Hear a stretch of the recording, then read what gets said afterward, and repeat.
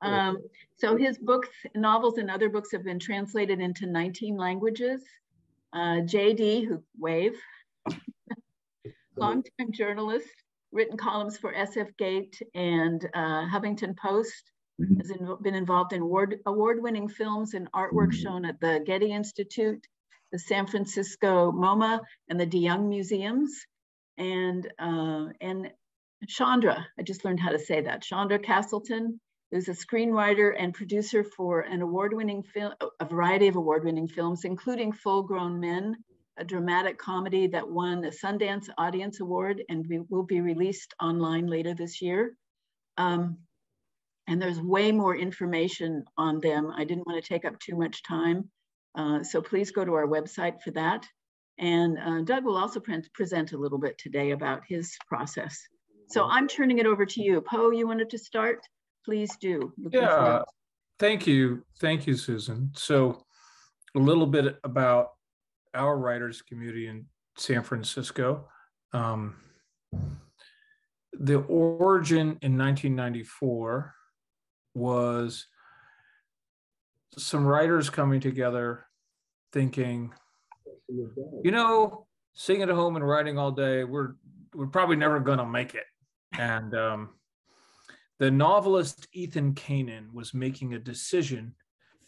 Did he want to? Just coming off his emergency room um, credentials, and he was like, "Am I going to be a novelist or am I going to be a doctor?"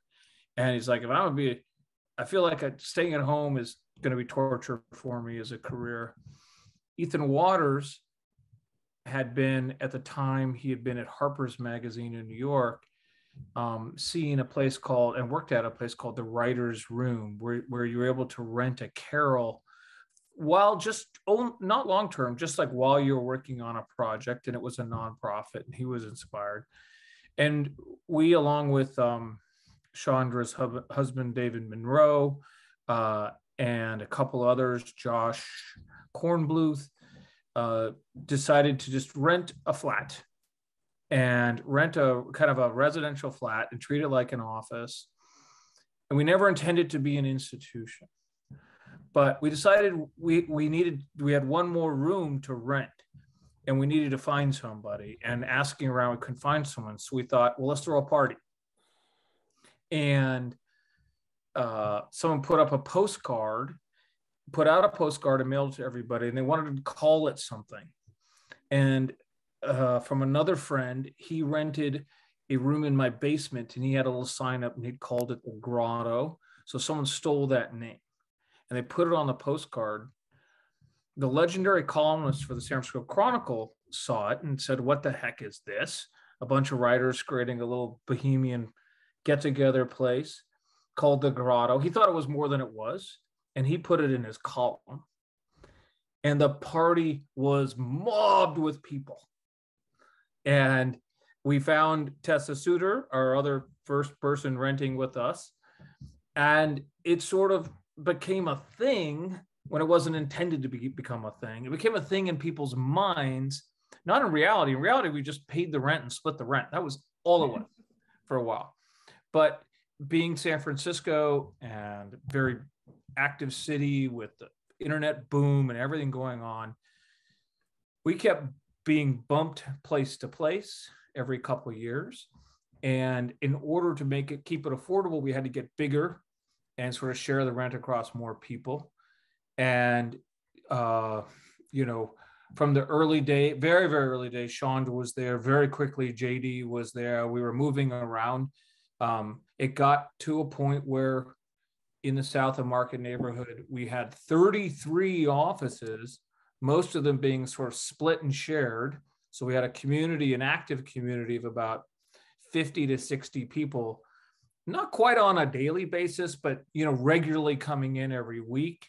And people who had moved away or working from home, all, to, all told, it was at the time this book started, which was 11 years ago. Um, it we maybe had an active community of 75 people. It went on to become an active community and still thriving today of 150 people or so. And it started to teach classes and all these wonderful things sort of came out of it. But it was on December 1st, 2010, that I got a letter, email from the editor at Chronicle Books. Her name was Sarah Malarkey. And I knew Sarah for a, a, long time ago, and I knew that she was kind of a honcho at Chronicle. So if she was sending me an email, I better read it. And also, if she made him any sort of offer, it was legit. It was a very simple email, and it said that they had recently published a book called 642 Things to Draw. So it was a little sketchbook. And it was selling really well. It was just they just had a couple months sales, and they're like, we want someone to do these writing prompts, 642 things to write about. Could the Grotto community do that? Very simple email. And I called her and I said, you don't mean actually 642 things. You just mean some large number, like any large number would work, like 128 or 264, like just some random big number. And she was like, because I'm pretty sure we could do that. And she's like, no, like I want it to be consistent with the drawing book. So 642 things. And I was like, that's a lot. that's a lot. Uh, she offered us, I don't know, JD, do you remember, was it 5000 or $10,000? It was like not much. It was 5000 I think it was three to yeah. 4,000. Yeah. Didn't she have a deadline too? Oh, yeah. She she had a deadline, but the deadline was was um pretty quick, seemed pretty quick, like two months yeah. out. And we're like 642, then we have two months to write this book. And nobody like was taking ownership of the book. And, and if we all did it together, no, and we split the money, no one could really make much money on it. We didn't really know how to do it. So what I said is, look, I'll just pop it onto our email thread for the grotto. And if it looks like there's a lot of excitement and energy and we're getting you know some numbers if we maybe we could get like 60 in the next day or 50 in the next day or two then we could sort of say yes to doing the project so i'm like please give me 24 hours before we, we sort of before you offer it to anybody else and I'll, I'll, I'll come back in time for a second but 24 hours later i said yes um, we'll definitely do this. We're up to about 300. and literally one day later, I walked down the street, the entire manuscript of 642 things to write about. We collectively, you know, the the challenge to do it was a writing prompt in and of itself. And people just came together on email and we turned in the entire manuscript in in essentially two days, is slightly less than two days. And it was such a flourishing, such a. Mm. exciting and creative brainstorm. It was really inspiring. And I think we were just started out thinking it's writing prompts, but to, to each of us, it kind of meant something different. And to me, I felt like writers often struggle with what should they write about or all the good material is taken or how do i find something different and maybe they over index on how their topic represents their writing rather than say the style and, and signature feelings of their writing. Uh, but you know we're relent people are just relentlessly creative. There's just an in i wanted to we wanted to create a feeling that there was in fact an infinite number of things to write about that the things to write about will never all be taken. No matter how many books are written, not everything will have been said. And to give people inspiration and heart to just that aspect of their creative self, right? It, it didn't matter if you wrote any one of the 642 things. What would matter was that you could just browse it and it would stimulate all sorts of things in your own mind to remind you that we all have stories to tell. I think the other thing that um, when Po was mentioning about how the process got done in literally a couple of days was the beauty of the whole concept of the writer's grotto. And that is that you're not writing alone. And one of the most powerful tools has been our listserv, has been our, our email communication. And so I remember at the time after he posted the prompt, he first posted three examples of his own, like like here's an example and and that started us prompted right like oh i can do i can do something like that. I can think of some interesting prompt from my own life or inspired by someone else's life.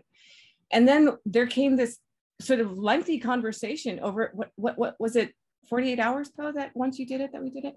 But anyway there was this oh. conversation on the listserv between all of us saying how about this? where we actually sort of talked to each other and actually collaborated in terms of inspiring each other with our prompts. And sometimes not even posting the prompts but like posting a situation that would inspire other people to, to submit prompts. And i remember that was part of the fun was we were all responding yeah. to this prompt by coaching and inspiring and coming up with ideas for each other in real time for like a couple of days. And then and then it was a contest. That was the other really exciting oh. thing it's like i've already written 30 what are you guys doing? You know? And we would actually like compete against each other for our numbers and and that's one of the things that po discovered when he looked back at the checks because we all got you know a little bit of money for each prompt was I have to say I was the winner of the, of the very first sort of numbers in terms of submitting the most prompts for the first 642. And I was so, so jazzed because I had the time free. I happened to have the time free to just devote thinking, walking around the house, walking around the city. What can I, you know, what kinds of things interest me? What kinds of situations interest me? What kinds of emotions what kinds of emotional situations have I gone through that are really interesting for me that, that I both experienced or that I read about? Do, do either of you remember how many um, how many prompts did you write? Because I know um, Po yesterday you texted me that I earned a total of I think it was sixty-four dollars and fifty cents for my prompts, but I don't. And then JD that you wrote the most but I don't. I will look it up while we're while we're talking. Okay. I, I couldn't find on my computer the original manuscript, but it's somewhere in the email because I also emailed it to Sarah. But I found the accounting for it, and my memory is that the the most was around. If that was JD, that was around thirty two. I mean, people wrote more, but we we actually wrote. Oh yeah, right. Well over eight hundred, mm-hmm. and um, I had to. It took me about three hours, but I had to winnow it down to avoid um, ones that were just too similar. And, we actually didn't, when people were writing them, they didn't just put them all into the listserv. What I asked was to share them with me directly or Ethan and I, or maybe it was JD, and, and then we'd, we'd select some and send those back out to keep triggering the thoughts. But we didn't want to make people feel like everything was taken, right? Or that we also didn't want to make them feel like everybody else was doing it and so you could you didn't have to try. Uh, we respected the fact that a lot of people had assignments and deadlines to meet. They couldn't do as much but uh, you know it kind of spiraled in a really wonderful way. But i'll look up i'll look how many people did. I, I think it was something like five dollars a prompt that we ended up paying people which um, is interesting given um, Po, you pointed out that it's sold something like over 700,000 copies. Yeah, 800,000 copies now. Around the world. and, and then spawned 642 tiny things to write about, a teens version, 712 more things to write about. It spawned six progeny, collectively having sold about 2 million copies. And uh, yeah. The um, 642 things for kids to write about is something that um, a lot of people have talked to me about. My my daughter used and that's a really good one. I'm really curious doug how you stumbled across the book and um, i mean I, I, honestly i've never heard of someone um, having a, a prompt book as a as a favorite book. So I really want to hear about your story. Well, it was given by a person that's online now. I think Ginny gave it to Catherine Brown.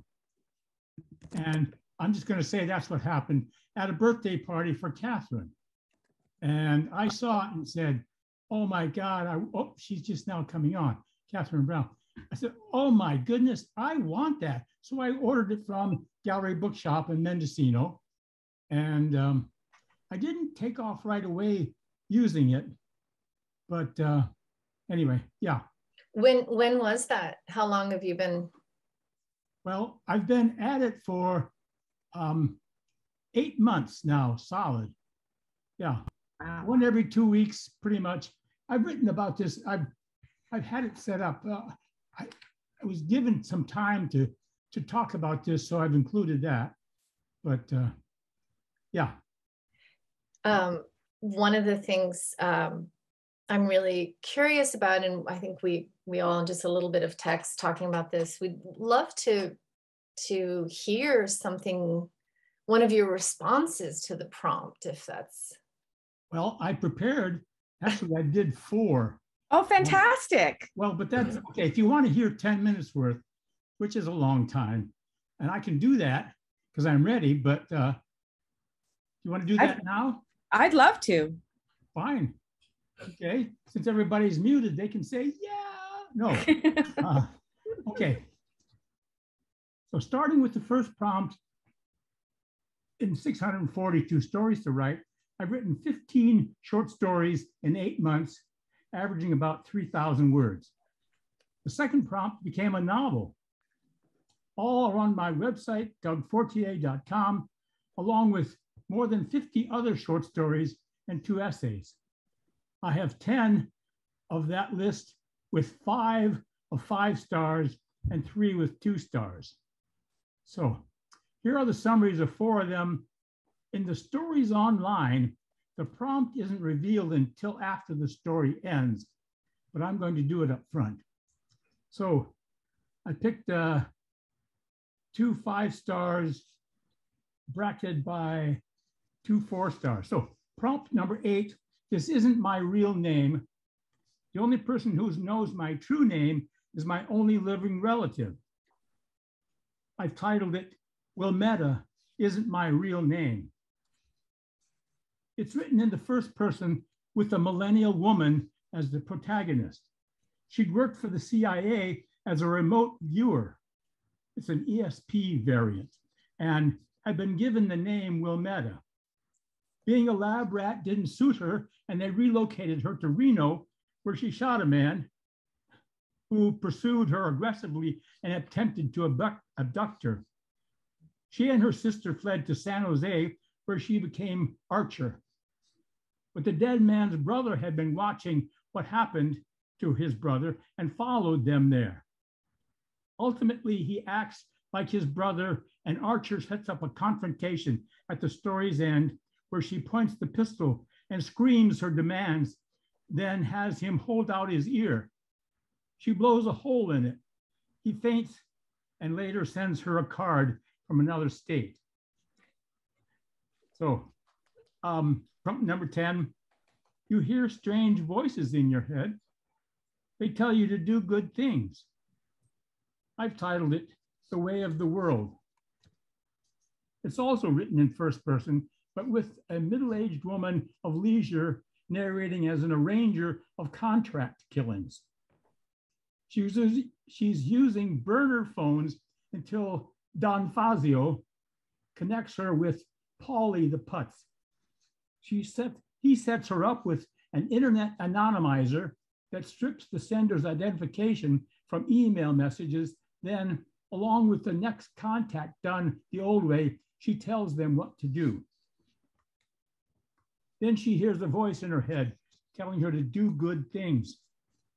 It also tells her that money isn't everything and that she should visit her uncle in Florida and her aunt in upstate New York, among other good deeds. The feds come for her.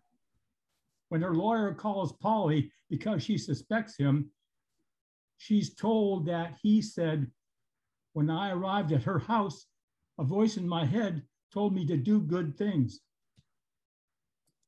So prompt number 13 is, I'm the only one here who doesn't speak the language. It gives me a unique perspective.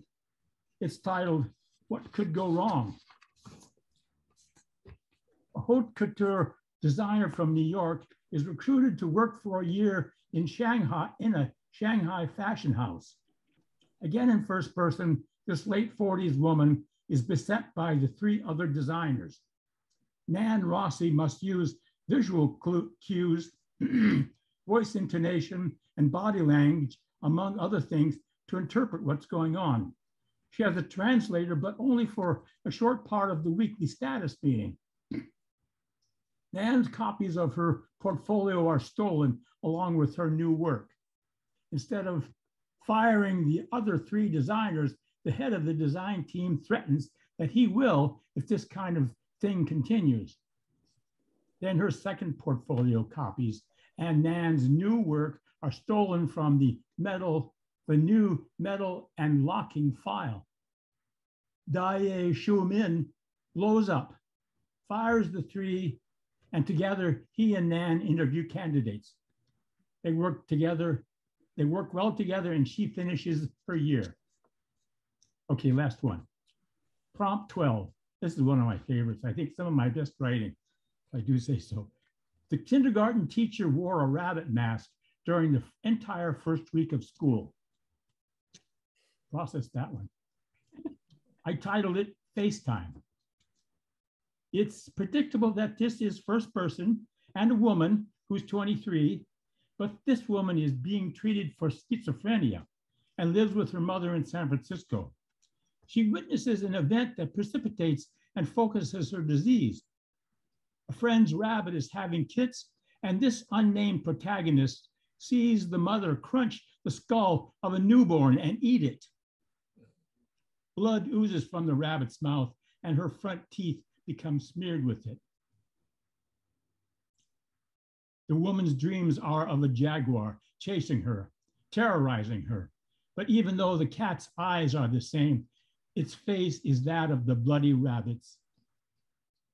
She doesn't like the side effects of the haloperidol, stops taking it, ends up on city streets where she sees the rabbit's face on people. She knocks one down and kicks the person's head until bystanders pull her off. The police book her and take her to a psychiatric hospital. There is much more to the story, but it ends with the main character teaching kindergarten, back on her meds, but still fearful of seeing these new faces, she appears with the rabbit's mask she's made and tells them, I am one of you. They all see it as a game. She continues wearing it through the week, then returns on Monday without it. So. Thank you so much for sharing those. Well, I could very daring with the not what I expected with the rabbit mask. No. And lots of lots of plot twists and turns. Yeah. Thank you so much. Doug, one of the things that I was fascinated with with your stories is that they're in this really wide and very deep um, array of, of fields, like the one with the person who's in design. Yeah. Right. So and I know that as a writer, whenever I'm um, sort of writing fiction, that one of my favorite things is actually about learning about a new field that I have to know to be able to be convincing, right? And finding out, you know, what are the processes, what are the tools, what are the objects that people use, that sort of thing. So, can you talk a little bit about that in your process? Oh boy, we're talking about how my how my imagination generates things, my creativity.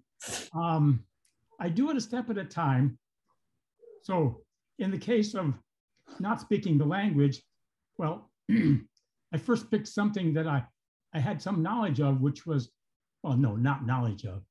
I know that there are these haute couture designers in New York City. So I did some research on that. And then I decided that China would be a place where she wouldn't have any idea. It's not one of the romance languages. And so she goes there. Well, she's invited, she's headhunted by uh, the design house. And anyway, was offered triple her normal pay for the year to go there. And she can't refuse. So on and on and on. But uh, as far as how I do it, you should read some of my other stories on my website. Um, I have a a wide variety of things from a sentient house that takes care of the family and is dying. That's in one page. Um, on and on and on and on. But um, I love it. I, this is my joy. I, I have a regular writing time every morning and stick with it. It's become a habit. Uh, it's the only way to do it as far as I'm concerned, because I wasn't writing otherwise. So, um, yeah, and I like the research too. So, do you have any writers who influence you or who inspire you? Um, well, not really. I could, well,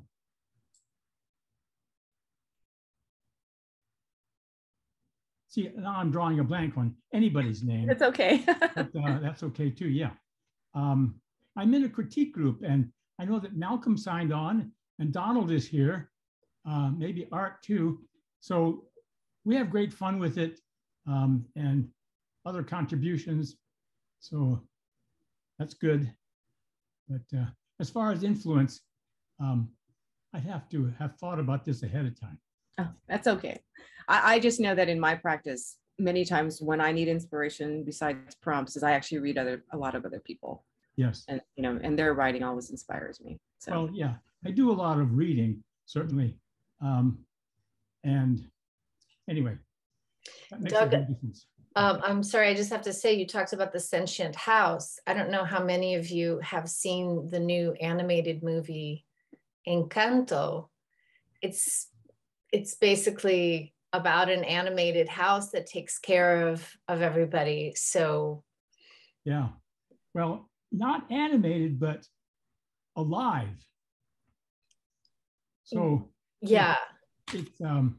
so you're in the you're you you're in the zeitgeist. You've I guess you tapped into something. But Encanto, I haven't seen it, but I know what you're talking about. Yeah. Yeah, it's quite good. Yeah. So I have a question: Is are, are people? Is there anybody out there going from the first prompt and taking the next challenge and writing, writing, writing? Any of you three know? I've seen people start that way, or I've seen like on Twitter or reviews, people say they're doing that. Yeah. I wouldn't say I've seen anyone show determination to do them all or to finish. Yeah. Well, I hope I live that long. I have a degenerative lung disease that uh, it's not a good prognosis. Let's say that. Yeah. Yeah sorry to hear. Well, I, I think I agree. I think that you're the only one that I know of that is determined to go through them. How many have you done so far? You may have said. Well, 17. Um, uh-huh. Yeah, eight months worth, pretty much every two weeks. But uh, if I wrote longer, I could get more done, I'm sure. But right now, I'm happy with the, the balance slightly easier version would be 642 tiny things to write. well, I don't know if I could... just writing a paragraph and then there's another one. Yeah, well, uh, 642 lists to write. Mm-hmm. And since almost everybody makes a list every day, whether you're grocery shopping or trying to remind you of something, uh, writing lists can somehow like you. It probably that would probably probably take you uh, 321 days rather hmm. than uh, yeah. that. Uh, I think all told, between the six books, it's over 4,000 writing prompts. Wow. Yeah. One of the things that I was also mentioning, and Chandra and po, maybe Po knew this, but Chandra didn't, but it's all over the world. I um, I travel a lot, and um, a couple of years ago, I was actually in London uh, for a while over the holidays and went to Serpentine Gallery because uh, I'm an artist and frequently just go to all of the major galleries. And I was with my um, my partner and my son, and I'm like, oh my God, you guys, look at this. And sure enough, in the Serpentine Gallery, an art gallery bookstore, was 642 things. I'm like, it's like, wow, that is so cool. Yeah, I have to say too, as um, I teach screenwriting and um, I I use prompts a lot in classes. I'm sure you probably do too, JD, or something similar. Yeah. Mm-hmm. Um, and I remember at the time, I think we it was 2010, 11. We were, I think we were. I was in the middle of uh, producing um, our first feature film, and so it didn't feel like I was doing anything. You know, I wasn't writing. I was trying to raise money, and so it was really nice uh, to have that. I sort of jump on that opportunity to just think a little bit creatively. And it was the same for the the subsequent ones that we did. Um i think there were some i remember other people who took on that role that you had right po? Um like jason and then there were other themes like uh you know i think it was 642 things to write about love things i um, love about you Oh, things I love about you. Yeah, I remember that one. Uh, that that one kind of got my juices flowing. I contributed um, a lot. So, really, that idea that being in this community, um, we were prompted to think creatively. And the same thing, for example, just through the listserv or through walking in the hallways when um, in the especially in the early days of the the festival literary festival litquake when there was a grotto night and people would say well this is a theme do you have do you have anything written or can you write something by then and so um, having and I, I hope i'd love to learn more about how you function as a group but um, i hope as a community you can you share some of that um, you know that kind of electricity of prompting one another um, as well. Uh, I I know that I sometimes can be very close to the chest with my work and um, not want to start until I know exactly where I'm going and things like that. So sometimes just flipping through these prompt books and just saying, I'm going to write something. If I don't have the next thing on a script I'm writing, I'm just going to grab something and um, so I, I do recommend this in other books for for others of you um, yeah well and, and chandra i think um, what you were also saying about you know talking to other people and kind of like being made accountable so so oh. doug i love that you said that you have a critique group because yeah. um, both when i was you know when i am an artist although i don't have one right now I found, as well as a writer, I found, found that having a regularly scheduled critique group gave me deadlines and goals that I would have to, you know, work towards. I would have a commitment to work towards rather than sort of this abstract amount of time of and uncertainty. But I would actually have, it would set a deadline like, oh, I have to finish something by then because I have to read it aloud. I have to like talk, you know, I have to edit it so someone else will hear it and I won't be ashamed of it, you know. Um, so in that way, you know, with the Writers Grotto and even the 642 challenge was this wonderful deadline and prompt and collaboration. Um, one of the one of the things that I, I was actually curious about Chandra and Po, because I've never asked them directly because we didn't really talk about this, was how what inspired your prompts? Like what inspired your process in terms of to think of these prompts? Because for me, it was a mix of real life and you know, just sort of thinking what I would be interested in hearing a story about. And, and I actually dug up um, the prompts that I submitted for this book that you used, Doug. I found them in my files. And one of the things that I found was a prompt that I submitted. I don't know if it ever made into the book, but it was while sitting at a work picnic, your character asks her boss, her boss's wife, when her due date is due. And the answer is, I'm not pregnant. I'm like, so that happened to me.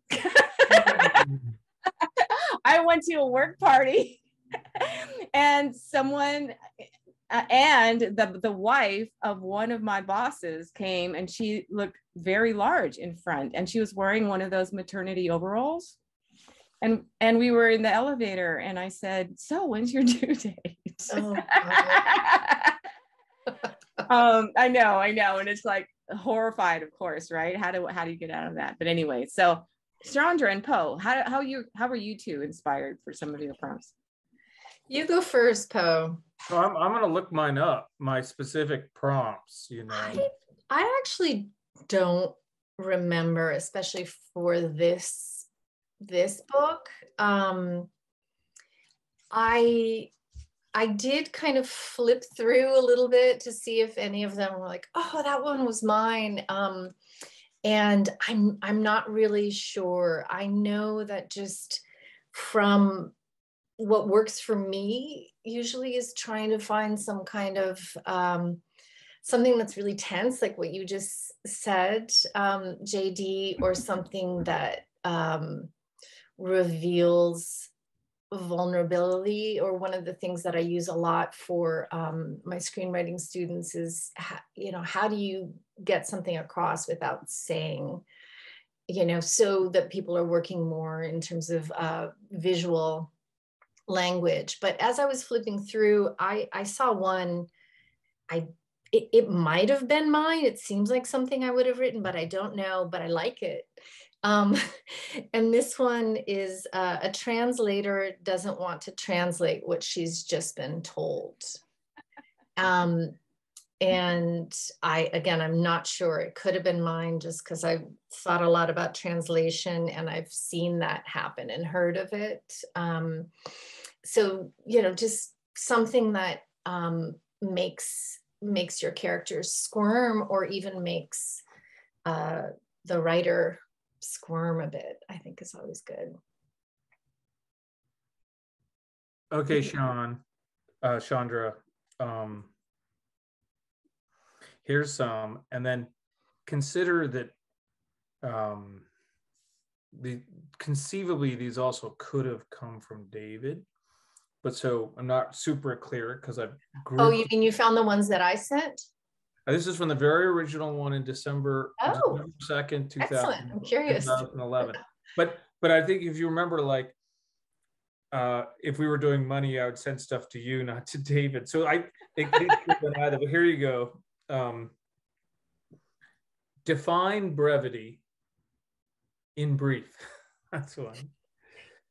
A soundbite from you meeting your doppelganger a note in a bottle you found washed up on the shores of Disney World's Lake Buena Vista. Describe, describe Earth to an ADD space alien.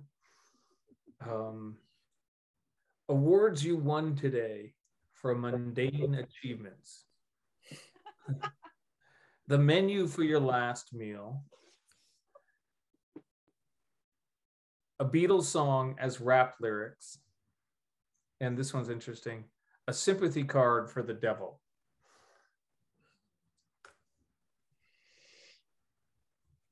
a different topic, but I'd like to hear. Um, Thank you. With being, with being um, uh, banned in Ohio, the school in Ohio. Yes, so um, we actually got a um, copy of a newspaper article. Isn't that how we learned about it, you guys? I think um, that yes, uh, someone saw it on the news somewhere. Yeah, where apparently a teacher uh, and um, offered the book as a um, prompt, you know, set of prompts for a senior high school literature class, and one of the parents um, happened to get hold of the book and found some very sort of racy, sexually oriented situation prompts and threw up a huge protest and um, asked the, um, you know, asked that the teacher who assigned these prompts in the book to their students be, you know, fired and wanted to get rid of the entire school board. Um, I'll find the link and I'll put it in the chat but it just created this whole ruckus and then it actually made the national news because you know so many um, because it was sort of an interesting again censorship of the book. And to be fair the prompts that were complained about by this parent were were you know were probably a little advanced in terms they were of adult. Yeah. they were adult yeah. They uh, they were as sean just says they were adult. They were meant for um, you know people who were not in seniors in high school who had a lot of sexual activity going on, you assume, but for, for adults.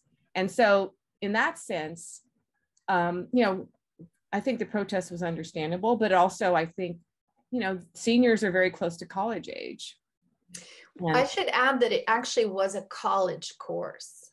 Yeah, oh, that's right. That's a good point. college course. College that, uh, you know, some, some high school students can take call local community college classes.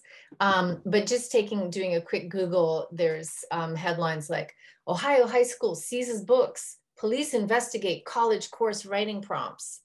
Um, and I mean, I I could look up some of the prompts. They were adult, but they were just basically we were thinking of adults, people who have had sex, maybe have had beer. I think one of them was like, you know, how how do you speak differently when you're drunk, or you know, something like that. Um, but we certainly didn't have uh, kids in mind. And then there's another headline. Um, uh, controversial writing prompts book went unnoticed for five years. um, this is all uh, local. You know but we it, it, did actually it is something i'm on the teaching committee and one thing that has come up is um, we have started to offer um, a couple of writing classes for teens and for kids and we've had to think about what what is appropriate. And i've had high school students um, or usually their parents first write me and say, can my kid take your class, you know, in the evenings after school?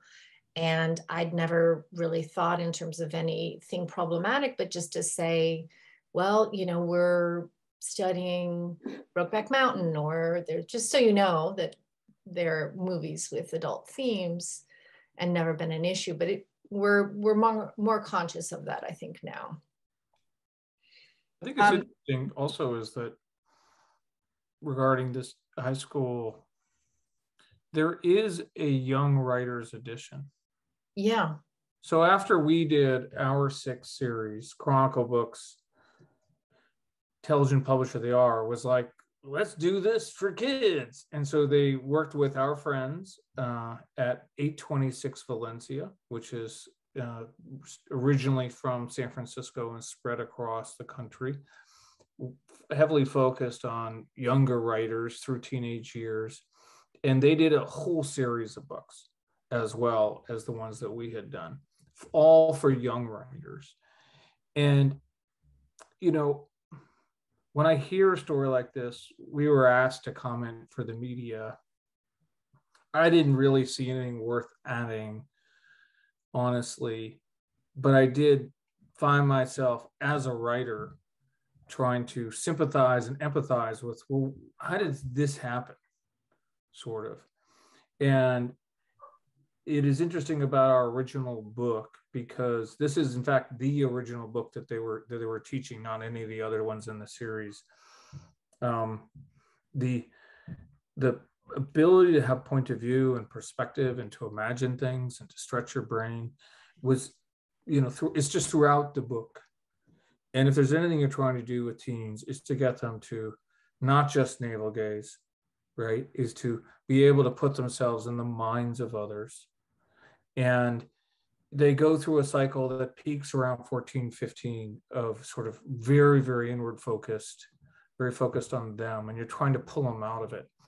And I imagine like this uh, high school easily every every year when they went to Amazon could have been prompted with, "You're sure you don't want the Young Writers edition sent to high school?" You know, and I'm sure they're like, "No, this book is the one that's working," and they used it year after year because they saw an impact on the positive impact on the children who did it. Uh, even if it meant imagining, I think there's like four or six prompts that were offensive, sexual things that that they had no experience with, but could push push their mind into. And uh, it's sad. These things are these things are sad, but um, it wasn't like Chronicle Books hadn't thought of this problem and created a whole series of solutions for it. Um, Mhm. and I think it's gone down. It's not like other schools. It's not like continuing in a chain reaction across school districts. Well, and one of the pluses was it actually brought up a controversy where many parents wrote in to say they disagreed. Um, I'm reading one of the articles uh, about it, and and the, the examples of the prompts are like, quote, write a sex scene you wouldn't show your mom.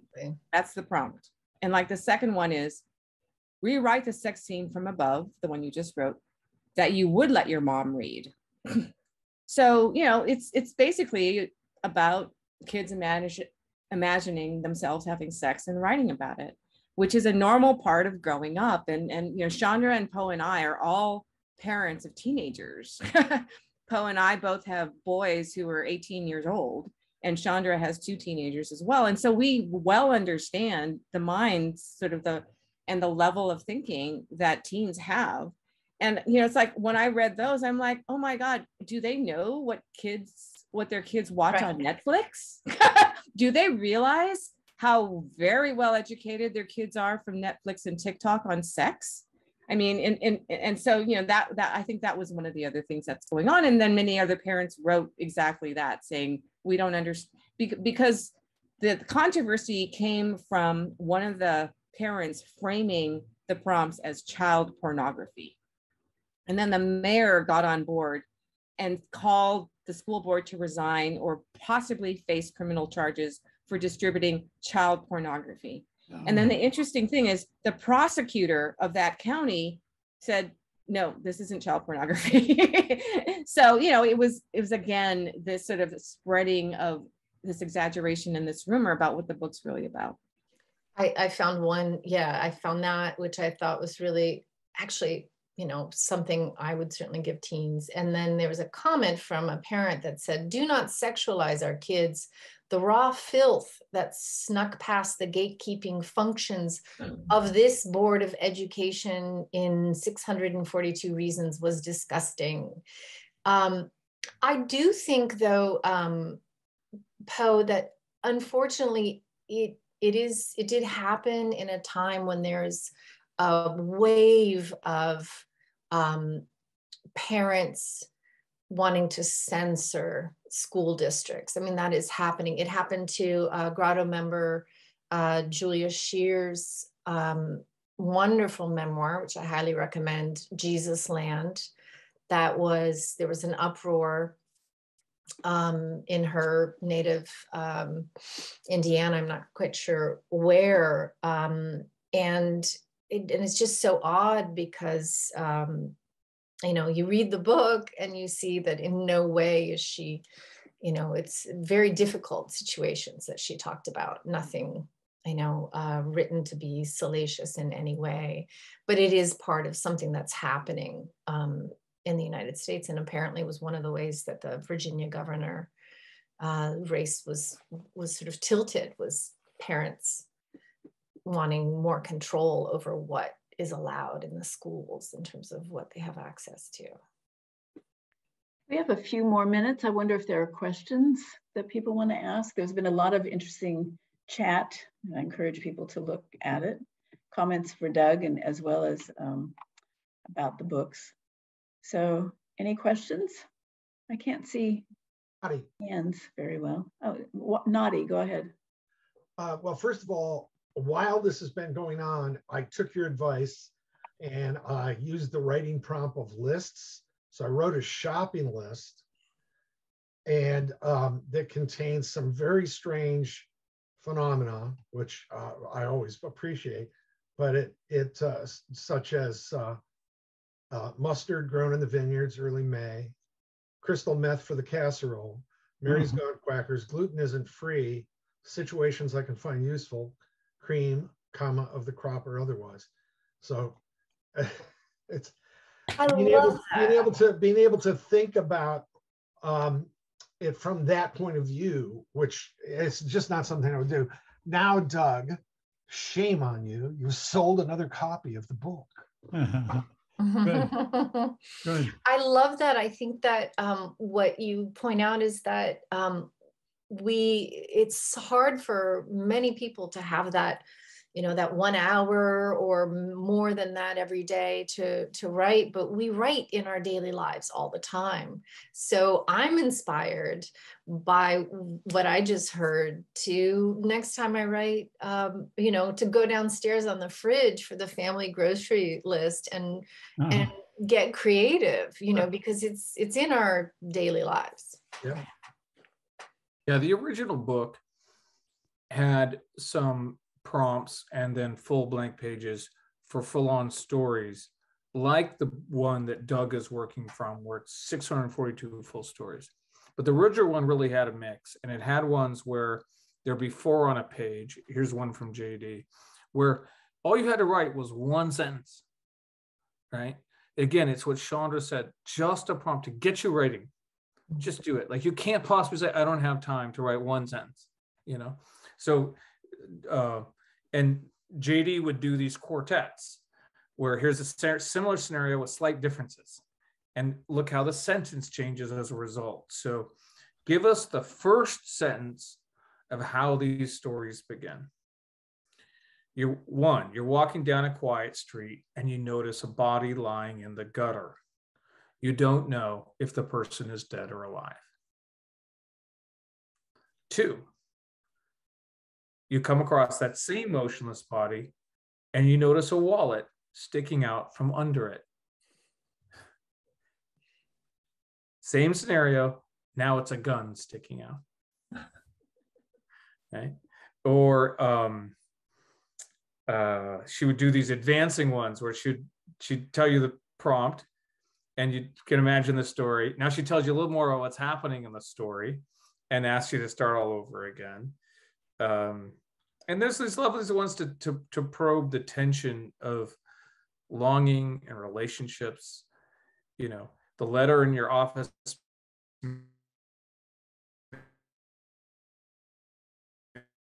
mailbox is from your high school boyfriend, your first true love 25 years ago. What about them? Or because we would use the way that we, we all used a way that uh, where writing appears in everyday places and we don't think about it as crafted prose but it is so this is from the form of an email um, write the first line the first line that's all you got to do no one everybody has time to write the first line of an anonymous anonymous email to the wife of the man you know is having a destructive affair with your best friend mm-hmm or from the narrative form of an obituary, write a paragraph from your ex's obituary.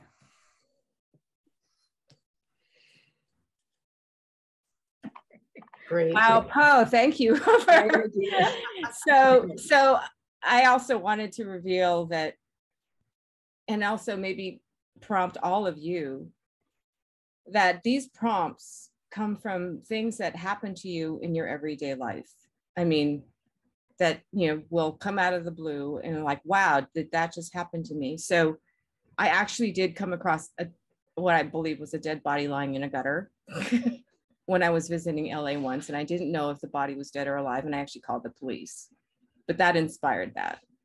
Um, I actually did get a letter from my high school boyfriend who now lives in Osaka, Japan. and I know Po's laughing because he's like, oh, and that inspired that prompt. Um, and what was the second one that you read? The, uh, the then there was the um, there was the obituary of an ex, and before oh. that was the body line. So the last one was an obituary from an ex. Okay, well that one that one didn't happen to me, but my ex had this very um, colorful career and was very, very publicly humiliated because of an affair he had while he was married to me. So, because um, he was a pretty high up um, administrator in a college. Ironically, something just happened today with the president from Michigan. And I was reading the newspaper. I'm like, wow, that just sounds like what happened to John, which was my ex, when his affair went public and it was national news because he was such a high administrator in his college and so that's that's what prompted that was like hmm because i'm always curious about obituaries, you know, it's because people die and they, they always want to frame people in the best light. And my, my thought has always been, wow, if you only knew, right? There have been some great, hilarious, brutally honest um, obituaries in the last few years that kind of become viral, and and I adore them. Well, and, I think the thing, I one of the reasons why I asked both Po and Chandra about what inspired you is because very much things that happened to me in real life that stayed with me is what prompted a lot of my prompts. And um, in terms of wow, you know, what was what is the story that I would write based on this just happening to me? And and the background that led up to it and what happened afterwards and to me is you know is very rich. I'm looking at the original manuscript, and as we're at time, and I've got to go uh, help my high school senior daughter with something. I want to offer one prompt that I think uh, everybody could do, because we're all at Zoom somewhere, uh, and we all have something in our house. Maybe it's in our basement uh, that we should throw out, but we just can't. what is it and write about it? Love it's it. beautiful because because to me like my wife would probably point at something. I, I i know exactly what i'd point at. It's in the next room i've been asking her to throw it out for a long time or at least put it in the in the garage. Uh can't do it. You know and i think this talismanic capacity of physical objects to stir memory and feeling is and and and echo across time frames is such a powerful good con but concrete thing to start about because we're all looking for writing to have this concreteness and these transcendent qualities so if you're wondering for one thing to do the rest of your day. Don't throw it out. That's a great way to end. Thank you very yeah. much. We all really appreciate. If if we were unmuted, we would all applaud. Thank oh, you very much. Everybody. We'll stay around for, you know, if there's some people who want to talk, we'll stay around. But thank you very much for coming. It meant really a lot to us. And thank you, Doug, for all you've done. Thank you, Doug. Thank you. So wonderful to meet you all. Yes. Especially you, Doug and, and Susan and all of you. I'm really looking forward to some news of um, your your continued progress on those prompts, Doug. I you could. Uh-huh. This is yeah, this was so. Before the grotto people leave, I just like to suggest you could get a lot of good prompts from this uh, parent. It's more of this critical race theory crap. It's it's parents that, in my opinion, cannot move forward to where we would hope to be right now, and they still want. Uh, pure, it's the Puritans rising again. I think you've got a lot of prompts you could come out of that, and um, that we could find a lot of writing material in that whole issue. I, I, I hope you take it on and send it to us. I want to read it. Great to Everybody. meet you all. Thank you all. Bye. Take care. Doug. Um,